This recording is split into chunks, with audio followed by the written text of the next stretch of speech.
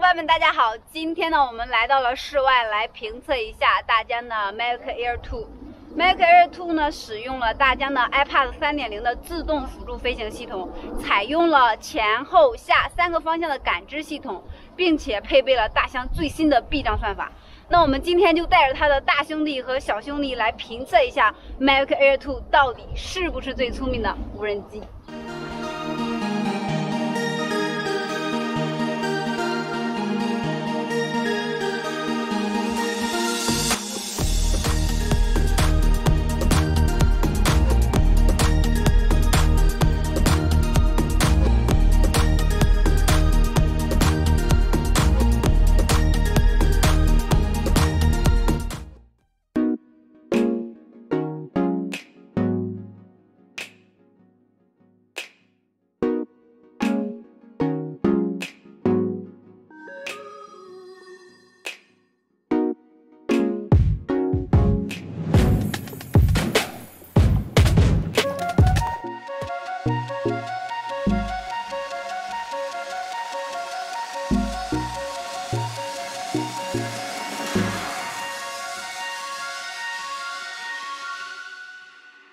我们在上期视频中分享了 Mac Air 2与 Mac 家族其他成员之间的区别。这其中最令我们惊喜的性能，不是影像质量，也不是飞行时长，而是 Mac Air 2的智能航拍能力。能够全自动拍摄的跟随和环绕模式都升级为3.0版本，号称最聪明的无人机。单兵作战全自动自拍能否实现呢？实测具体表现如何？让我们通过复杂性不同的四级智能飞行科目考试来看一看。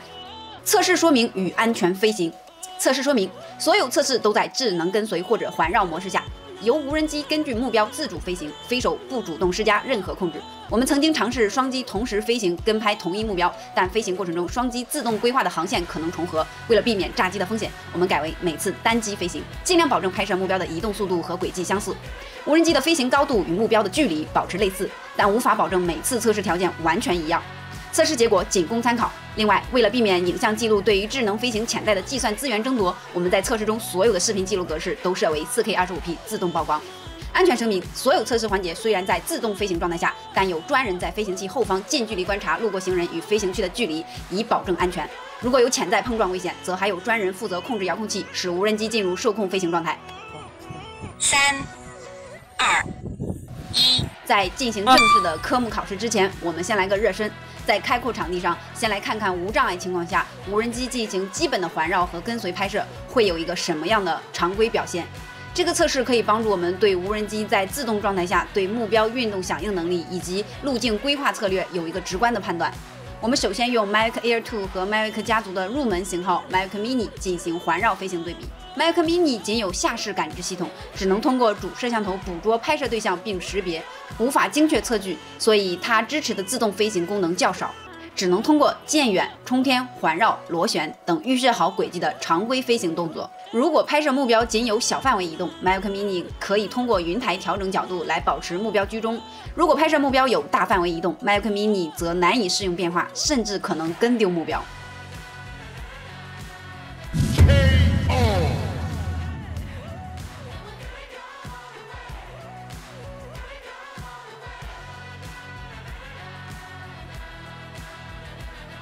Mavic Air 2支持兴趣点环绕3.0，在原来静态目标基础上增加了动态目标，而且跟随目标环绕的时候，能时刻保持比较平稳的距离，即便目标有移动甚至加减速，都能自动调节无人机轨迹与速度，最终获得平滑的自动航拍画面。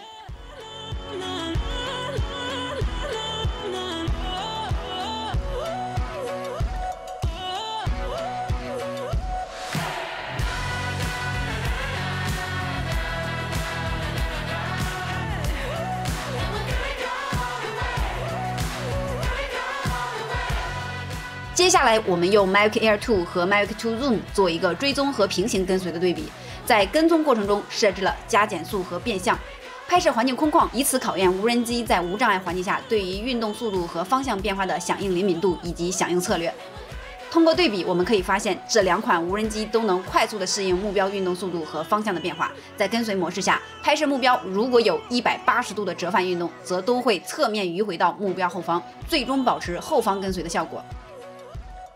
Mavic Air 2比 Mavic 2 Zoom 对于目标运动速度变化的响应要缓慢一点。这一方面可能是无人机本身飞行性能的差异，另一方面也有可能是速度档位设置的问题。Mavic Air 2在运动档下智能跟随没有避障功能，平行跟随模式也没有避障功能。本次测试 Mavic Air 2是被设置在有避障的普通档模式下，而 Mavic 2 Zoom 在跟随模式下可以进一步设置跟随的快慢速度，慢速安全模式下有避障。我们热身测试选择的最大模式下速度可达每秒二十米，但超越每秒十二米时避障功能失效。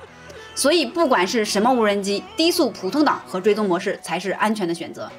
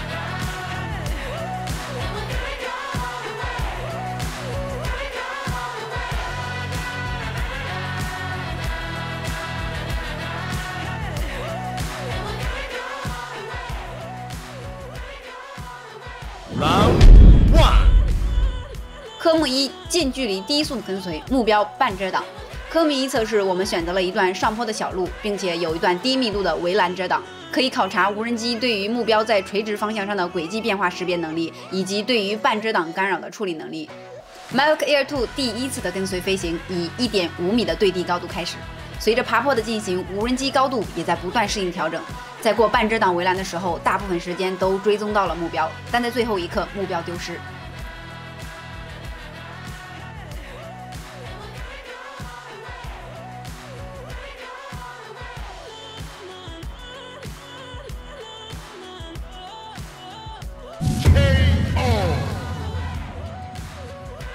Mavic Air 2第二次的跟随飞行以1.9米对地高度开始，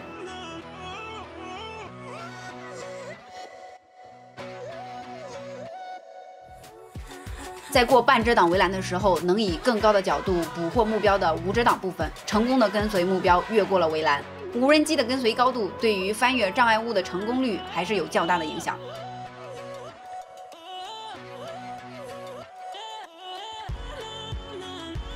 Mavic 2 Zoom 的跟随飞行以两米左右的对地高度开始，响应迅速，面对围栏毫不犹豫。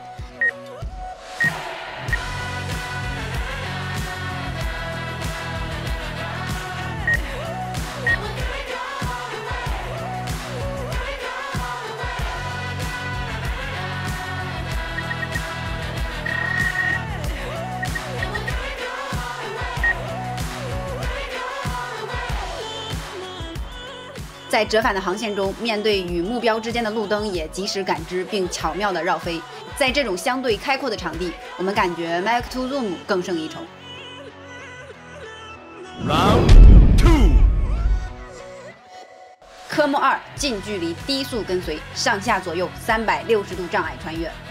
科目二测试，我们选择了一段林间小道，左右都有茂密的灌木，最为密集的路段上方也有全部覆盖的树枝。无人机跟随目标低速飞行穿越，并且进行跨障碍转弯以及折返。Mavic Air 2的感知系统能对近距离障碍物有较好的识别，所以在穿越狭小空间时，大部分情况相对顺滑。即便没有上部感知系统，穿越顶部障碍也毫不费力。但也有一次面临侧面障碍，响应缓慢，飞行暂时停止，然后再猛冲上去，犹如拉风箱。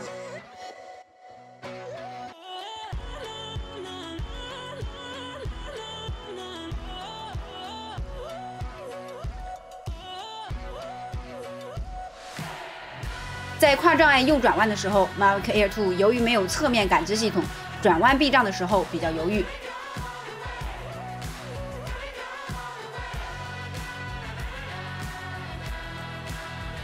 Mavic 2 Zoom 的全向感知系统在狭小空间显得有点施展不开，多次出现急速调整飞行姿态的情况，一路警告不断，但最终也安全穿越。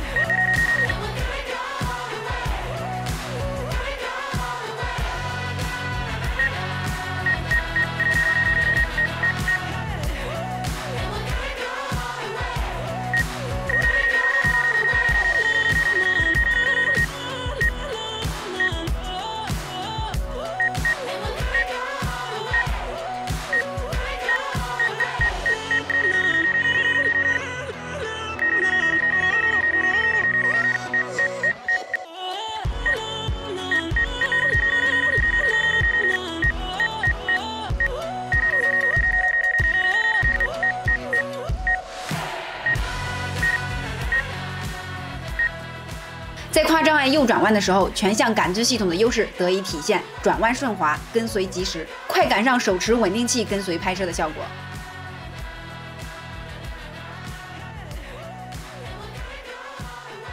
Round three，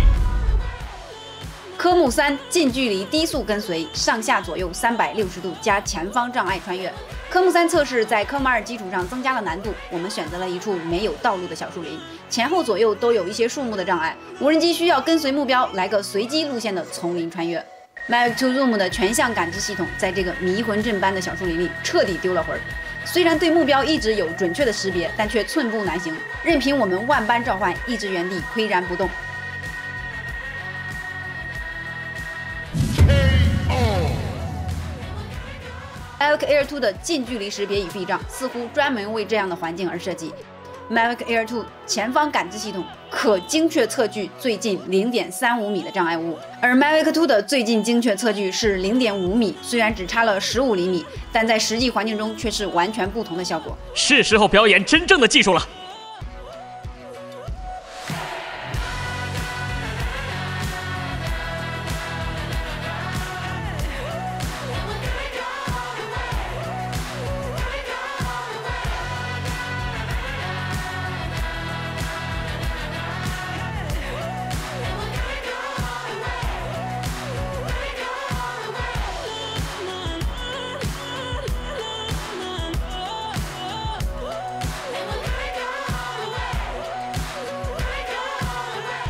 Mavic Air 2虽然无数次与树木擦肩而过，但最终成功的完成了丛林穿越，令我们大为惊叹。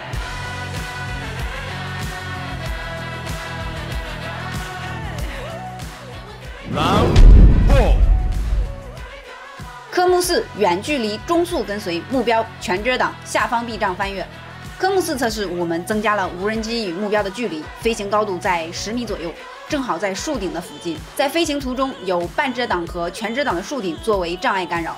Mavic Air 2的跟随飞行以十一米的对地高度开始，多次经过半遮挡和全遮挡后，顺利重新识别目标，在贴着树顶飞行的过程中不断调整高度，成功跟随了大部分路程。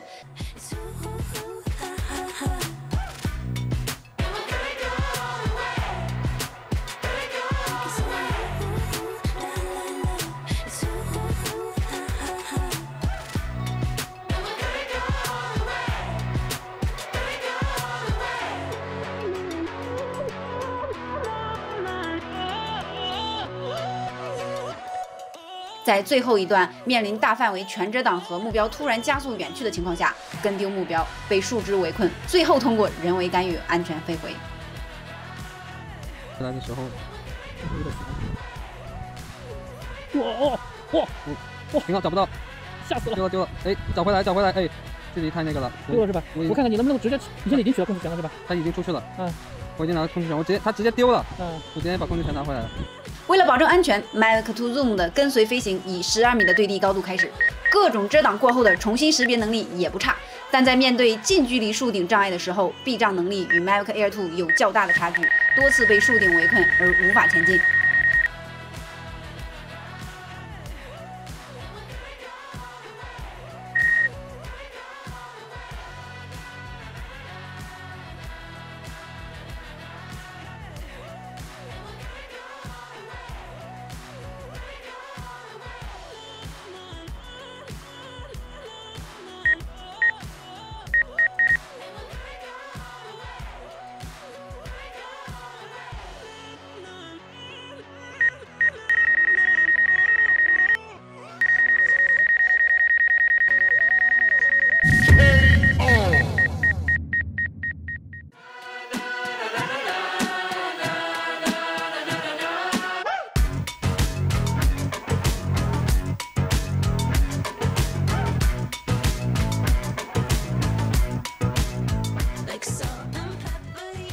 结论有突破，有保留。Mavic Air 2相比 Mavic 2的避障性能和规划路径的能力有大幅提升，尤其是在狭小空间，成功与否是零与一的关系。智能飞行性能的不断升级，对于航拍初学者来说是巨大的福音，无需苦练遥控器，大片效果随便拍，单兵自拍也能玩出更多花样。对于有一定经验的飞手来说，在 Mavic Air 2升级的智能飞行模式下，可以通过打杆施加更多人为操控，相当于在自动飞行的基础上叠加外部操控指令，既可以提高常规拍摄的效率，也有助于实现更为复杂的飞行效果。没有侧面和上部视觉感知系统的 Mavic Air 2并不完美，但其升级的智能飞行性能已经超越了我们的期望。在测试的过程中，我们数次被惊艳的赞不绝口。与此同时，作为画质控的我们，也更加期待 Mavic 3的到来。全向感知加持的智能飞行，再加上大底传感器带来的更加完美的画质，人间真香莫过于此。好了，今天的贝贝时间结束了，感谢大家的观看，欢迎点赞、留言、收藏、转发，我们下期再见，拜拜。